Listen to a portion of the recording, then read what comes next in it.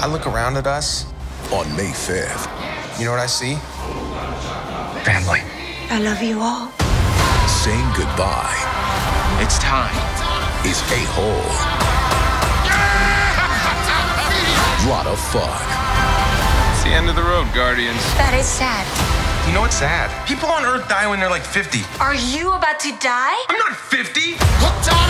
Guardians of the Galaxy Volume 3. Rated PG 13. Only in theaters May 5th.